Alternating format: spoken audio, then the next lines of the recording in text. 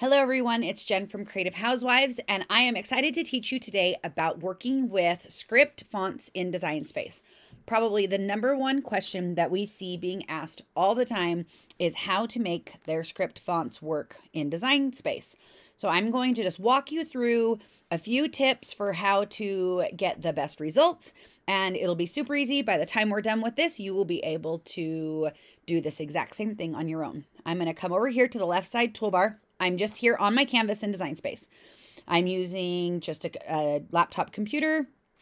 Here on the left side, you'll see that there's the T for text. I'm going to select that. And then up here where it says font, right now it's on a just a normal like block font. So I'm going to select and just come through here. You can see that there are different options. Though anything with a green A next to it will be included in your Cricut Access subscription. If you come up here and select system, anything in this is a font that you have downloaded to your computer. So if you have, you know, a font that you want to use that you downloaded, this would be where you would come to look for that. If you want to make sure you're just looking at Cricut fonts, you can select that here um, just select Cricut and that's only going to show you Cricut ones, but it's going to show you all of the Cricut ones. If you come over here to filter, you can also select my fonts. That's going to cut out any fonts that you don't own in Design Space. So because I have a Cricut Access subscription, it's going to show me all of those. So I can just scroll through here. We can just pick any font. I want to pick a font that's also able to be cut so you can see the Babette is a single layer cutting and also a writing font. So I'm going to go ahead and select that. And I'm just going to come down here and I'm going to type Merry Christmas.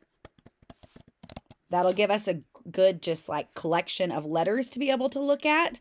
So as you can see, every letter is individual here. It's up over here on our layers panel. You can see it says text Babette. This is one word or font box but it each of the letters are individual. They're not touching. So when it cuts out, it is going to cut these out each individually. Here's how we get away from that and make it look more like a true script font. So I'm going to go back here. I'm going to select my layer and then I'm going to come up here and you can see up in our top toolbar, we have font, we have style, we have size, then we have letter space. Right now the letter space, and I believe this is the default, is 1.2 you can use these arrows here to make them further apart by selecting the up arrow. So you can see that they're moving further apart. Or you can select the down arrow, and this will just scooch them together. So you can just keep selecting that. If you know a good jumping off place, you can also just type in, like I could say negative 0.4 and then that's going to pull them that close together. So there's a few different ways that you can do that. And so you can just bump them up, or bump them down, whichever way you want to do that, or type that in. So you can see here, things are getting really close. Like my H, I feel like is uncomfortably close to my C here. My E is getting very close to my M, yet this part of the E is not touching my R. This R is not bumping into the other R, still not connected to the Y. The T is almost connected here to the M, but not quite. So when I, for this next step, I'm going to just zoom in a little bit farther to make it easier for you to be able to see. So we're going to zoom in at 150 so you can see even clearer how like close but not quite these letters are. So now I'm going to come up here in the top toolbar where it says advanced. If I select advanced, I can select ungroup to letters. Now I want you to watch this layers panel over here when I do this. So right now, this is all one grouped just text box. When I select ungroup to letters, watch what happens. So now you can see I have a different text box for each letter. So if I select this H, you can see that it's highlighting just that H, which means I can move this H wherever I want. It also means that this is no longer a um, like a single word. So as you're adjusting sizes and things like that, you need to be aware that it's going to adjust for just that single um, letter, not for the entire thing. So what I do from here is I like to start at the beginning and I'm just like, I want my M a little bit farther away from my E, but then I want this R, I want it to look like these, you know, like that this E just jumps right into that R, like it would be natural. So I'm going to bump that down a little bit farther, but then you can see that. So now I have my E and it's coming up into this R. They are still, if we come over here on the toolbar and show you, if I select this R, you can see it's still individual. They are not, just because they're touching does not mean they're connected. They are just touching at this point. So now I'm going to take this R and I'm going to bump it over. So again, so now we have our E. And if we follow that natural script, you know, we're running right into the font or right into the letters the way that you would if you were just writing them yourself. So now I'm going to drop this Y down a little bit. And you can come in and do things like I can select just these two. Actually, that grabbed the E too.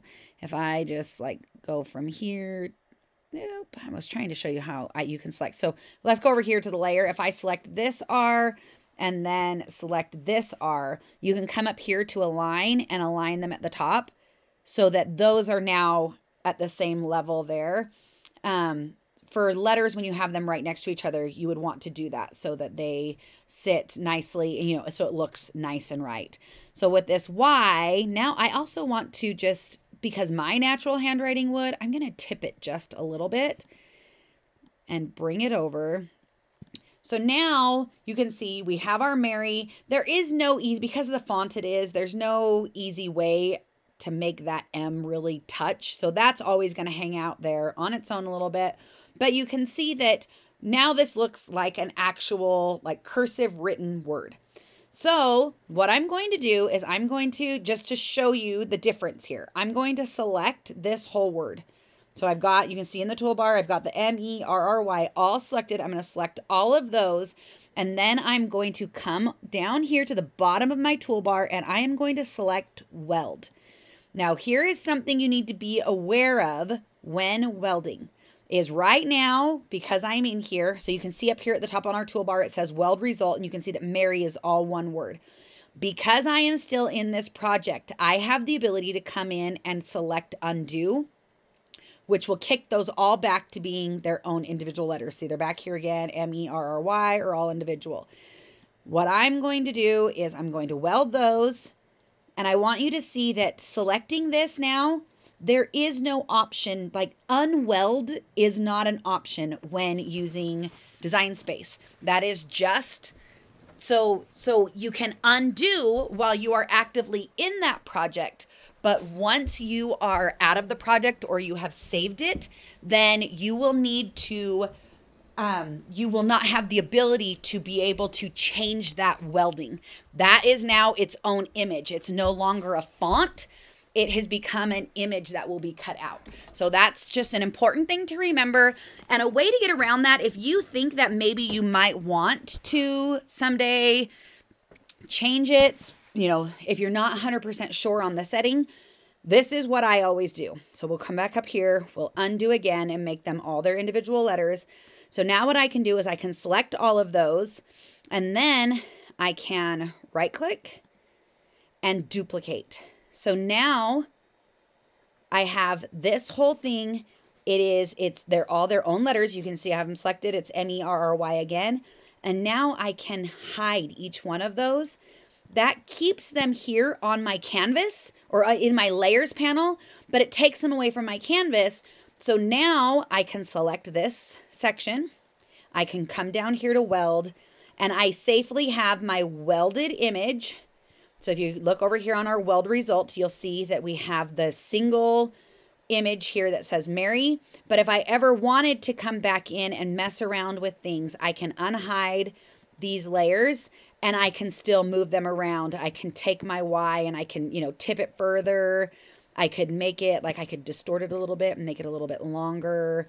I could take my R's, make them a little bit skinnier if I wanted to. So there are things that you can do by having that layer duplicated. I'm going to go ahead and hide those so that that doesn't get confusing. But anytime I'm welding and it's a project that I think I might want to, you know, play with more later, I try really hard to remember to duplicate before I weld and then just hide that layer. So now we'll just move over here into Christmas and I'll just play with these really quick and we'll get them lined up. And this is all a personal preference. Don't let anyone tell you what you can and cannot do. there are plenty of people out there who like the look of a, a scripted font without having it touching, and that's your choice. A lot of people like to say that, you know, it's not your choice, it's the designer who created the font's choice. Whatever, however you want to do it. I am not one to judge. It's your project. Make it look the way that you want. But I'm just going to go ahead and just keep moving these around. Like, my personal opinion is that this A is ridiculously large. Like, look at it compared to the M and the S. I feel like it is so big.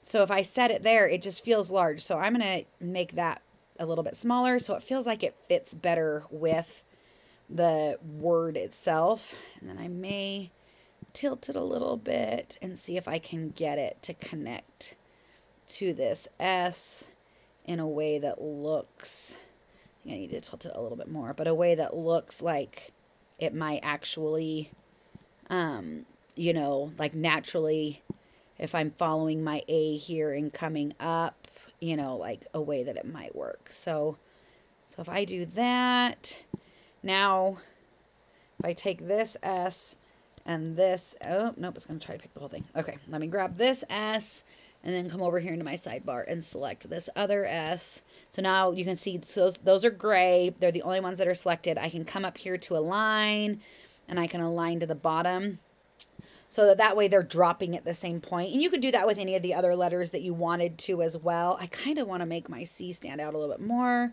So I'm going to kick that a little bit bigger. But again, there's no real natural way because it doesn't have much of a tail here to bring it up to that H and have it come through. But for the rest of the word, I feel like, you know, like that that is a natural just, you know, how one might write. At least this is how I write. I am definitely a person that combines like print and cursive.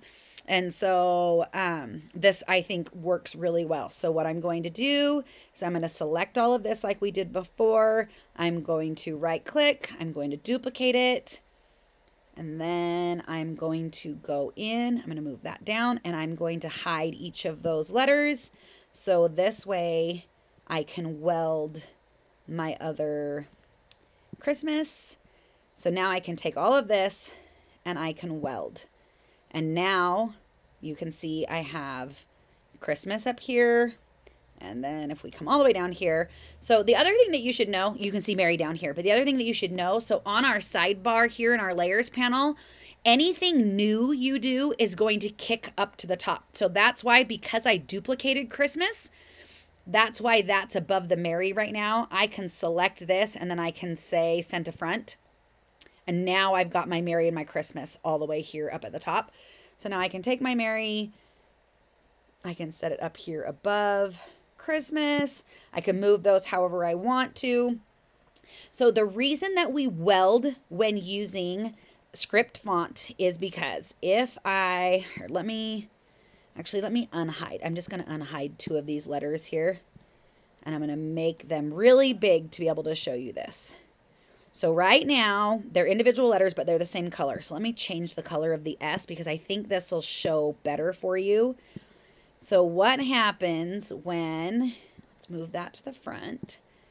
So do you see what's happening here? Because these aren't welded, even if they are the same color, if they're not welded, this A is its own image and this S is its own image. So what will happen is even though they're touching and even though they're the same color, what's going to happen is my A is going to cut out, which means when it gets to this tail part, it's going to cut into the S. And then when it cuts out my S, it's going to come along here. And when it comes along here, it's going to chop off that piece of the A. So I'm going to have this random little section here that's cut off of my A and cut out of the S.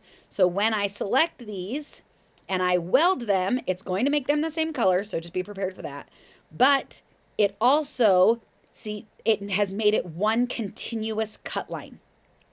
So now I have these in here and it's just one. There is no weird tail sticking out, making things, you know, where it's going to cut strange.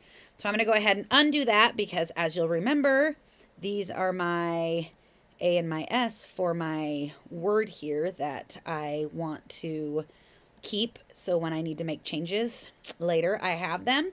But there you go. So now when I cut out Merry Christmas, it's going to cut these out as one image. So when I'm using, if I'm using cardstock or I'm using iron-on, it's going to cut this all, or vinyl, any of those, it's going to cut it all out. And then other than my C and my M, which just don't, there are other fonts where they would work better to attach them. But so now I'm going to have my M and then this will just be one image here. This E through R will be one easy thing to peel up and to attach back down. I hope this was helpful. If you have any questions at all, please do not hesitate to leave them in the comments. And I hope you have a wonderful rest of your day. Thanks for tuning in. Bye.